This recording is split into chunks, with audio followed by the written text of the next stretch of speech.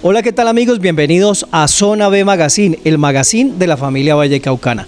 Yo soy Andrés Merlano y los invito a que nos acompañen en esta hora de emisión con información de lo que pasa en nuestra región del Valle del Cauca. Gracias a todos ustedes por acompañarnos a través del canal CNC y en las diferentes plataformas y redes sociales.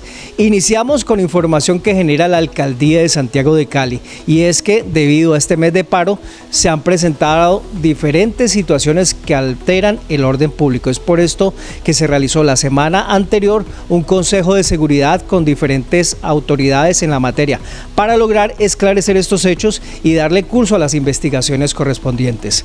Los invito a que vean el siguiente informe. Hacer esclarecimientos sobre cada uno de los hechos presentados en la ciudad desde el 28 de abril a la fecha es una de las conclusiones del Consejo de Seguridad, así como avanzar en el desbloqueo de algunas vías y continuar en el diálogo con los jóvenes.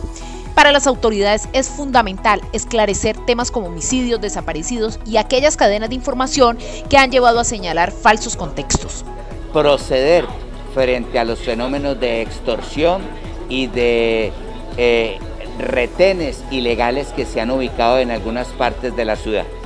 Lo segundo, el respeto y la consolidación de la mesa de trabajo que se ha establecido con la unidad de resistencias de Cali de tal forma de que podamos seguir a través del diálogo encontrando respuestas a sus necesidades.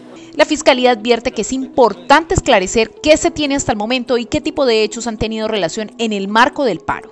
Lo que señalaron del CAN, eso no es cierto, no es una información cierta. Segundo, y allí señalaban que había una serie de cadáveres, que había una serie de personas ahí dentro del éxito, eso no es cierto. igualmente señalan ahora que unas personas aparecen en el río Cauca. Nosotros ya hicimos la verificación de la información y esos cadáveres fueron de marzo, ni siquiera es de este año. Entidades del Ministerio Público como la Defensoría también hacen aclaraciones sobre algunas informaciones que se han dado a conocer.